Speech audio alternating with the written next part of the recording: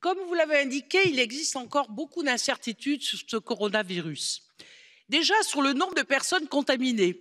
Quand on voit les chiffres, les Chinois nous parlent de 6 000 personnes contaminées, l'Université de Hong Kong nous parle de 40 000. Quant à sa contagion, est-il vraiment plus contagieux que d'autres virus? On s'aperçoit que ce n'est pas vraiment le cas. Est-il plus mortel que d'autres virus? On voit que par rapport à la grippe, ce n'est pas plus mortel. Est-ce qu'il va muter plus que d'autres?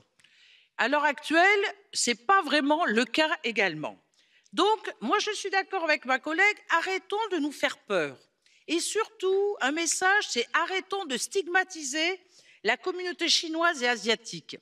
Et comme vous l'avez indiqué, il faut vraiment se concentrer sur une politique de recherche, sur une politique de coopération entre les États et surtout une bonne information de la population. Car il ne faut pas tomber dans une panique irrationnelle. Et il faut rappeler qu'en France, on a entre 600 et 700 personnes qui meurent par an des suites de formes de coronavirus.